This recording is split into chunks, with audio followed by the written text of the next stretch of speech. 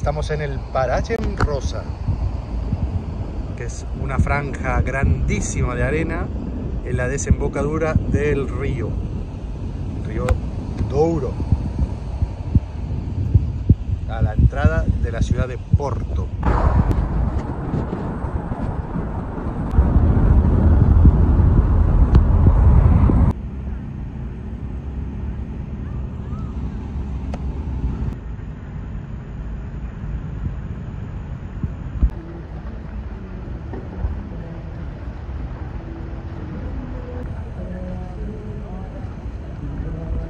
Ciudad tienen disponibles muchos barcos que realizan la travesía de cruzar los puentes, los distintos puentes que hay. Nos han ofrecido recién uno que cruza seis puentes. ¿Y cómo no empezar nuestra visita a la ciudad de Oporto en la Casa Portuguesa del Bacalao? Famosísima.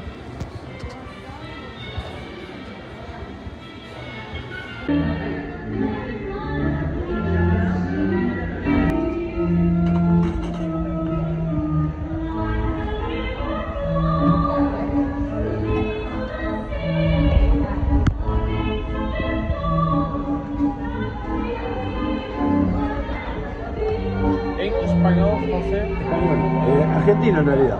Ah, sí, habla español. eh, ¿Hace así? Gracias. Muy bien, muchas gracias.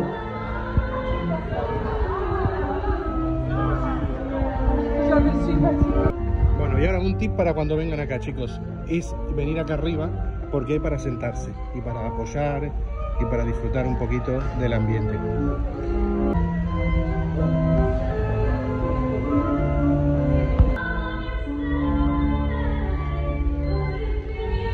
Este es un lugar que si venís a Porto, sí o sí tenés que conocer.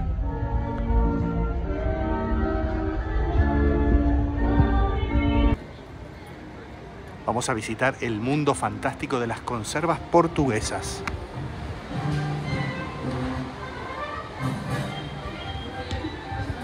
¡Wow!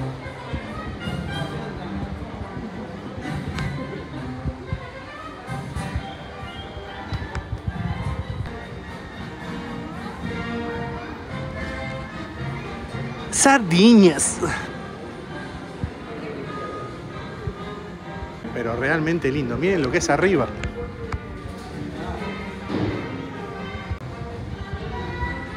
Vamos a subir, no me voy a quedar con las ganas de, de ir, de ver arriba.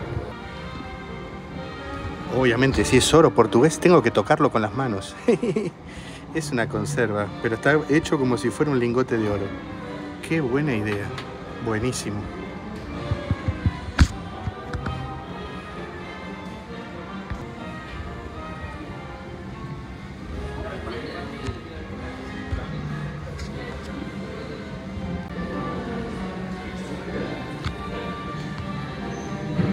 Y a ver si ahora saco este y se cae todo lo de arriba. Vamos a sacarla de acá. Este es 71 acá. ¿Eh? Acá te dice qué personaje es el que nació ese año, que obviamente fui yo, es el más importante de todos. Por lo menos para mí, obviamente. Muy pintoresco, chicos, esto. Muy, muy pintoresco. Seguimos recorriendo la ribera del río Douro en la ciudad de Porto, la segunda ciudad más importante de Portugal.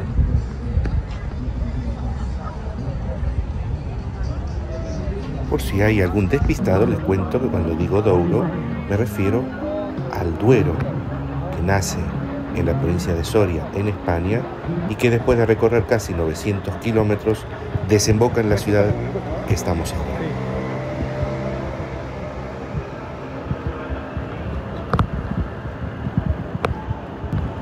vamos a pasar caminando por todo el medio.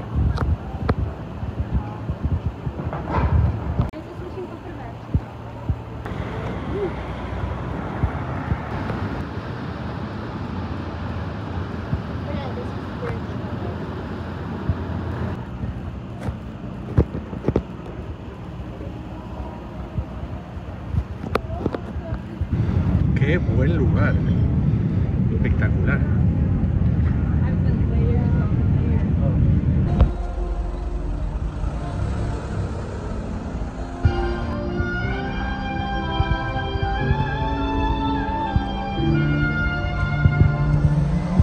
Estamos en el puente Luis I.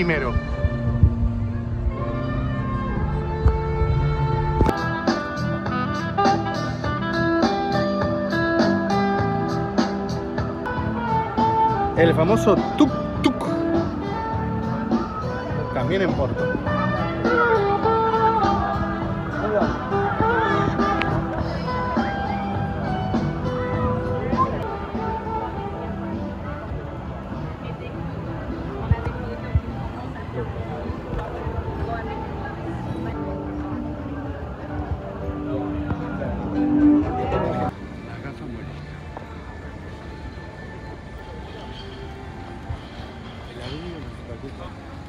Qué fuerza que tiene el agua, ¿no? Para sostener semejante cosa. Destinos con sabor. Destino Portugal. Sabor a mar. Estamos en la ciudad de Porto, en Portugal. Y ahora es un excelente momento para darle al botoncito de suscribirse al canal. No te cuesta nada y nos haces un gran favor para poder seguir mostrándote más ciudades como Oporto. Estamos en el mismísimo centro histórico de la ciudad de Porto. Acá a la derecha, este edificio que ven acá, es el de la estación de trenes. Pero lo visitaremos mañana, en nuestro segundo día en esta ciudad. Y ahora, dado que no hemos caminado nada, seguimos visitando la ciudad a pie. De modo irónico, por supuesto. Porque ya estamos bastante cansaditos con las subidas y bajadas. Pero seguimos.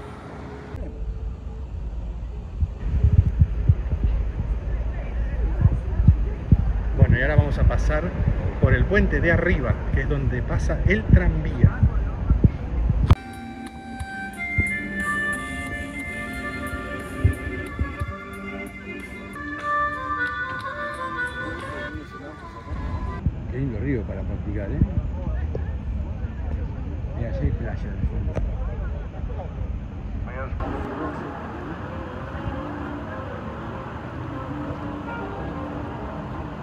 Esta es una excelente idea, el usar este puente solo para el metro, que en realidad es un tranvía en este, en este sentido porque sale a la superficie, pero que es, se transforma en peatonal y cuando pasa el tren simplemente te apartas.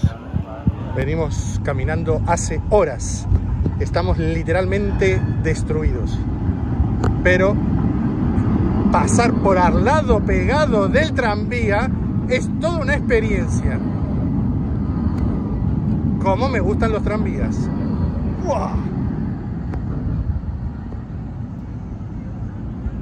Y encima, con esta vista del río Douro, en la ciudad de Oporto, Portugal.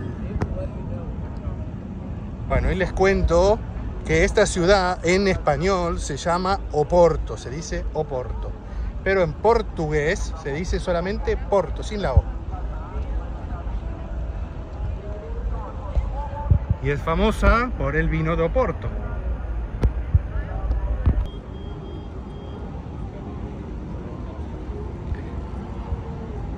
Toma de frente al sol en la ciudad de Porto con un iPhone 14 Pro Max. Vamos a ver qué tal sale después en la grabación. Les cuento además que esta ciudad es la que da el nombre al país, Portugal. Por eso se llama Porto, Portugal.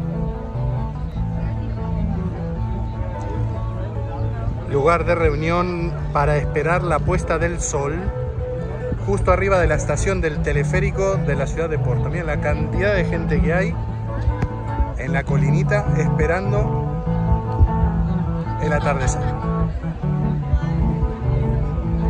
Esas son las ventajas que cuando estás en una ciudad con mar y río y unos paisajes espectaculares. Y el iPhone que se banca el grabar de frente al sol. Vamos bajando y nos encontramos con la estación del teleférico.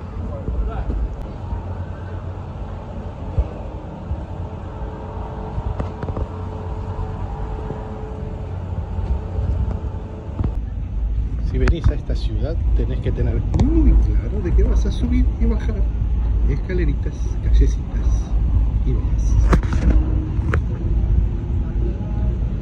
Y el gato súper bien. Chau, Michi. Veníamos de ahí, cruzamos todo y ahora venimos de atrás y vamos bajando. Estos son los cimientos del puente, de la escalera para el mantenimiento.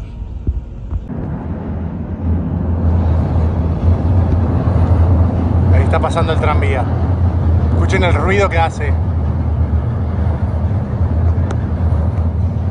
Pero más allá del ruido, si se fijan en la arquitectura que tiene el puente, es muy parecido a la Torre Eiffel.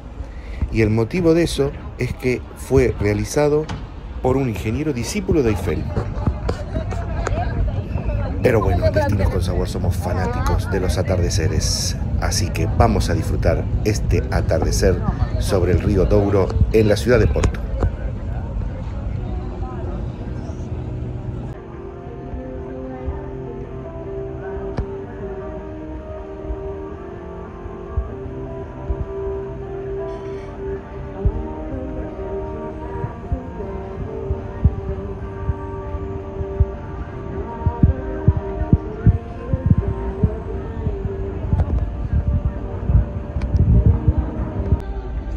Restaurante Dobrun, justo a la entrada de la parte peatonal de la ciudad de Porto.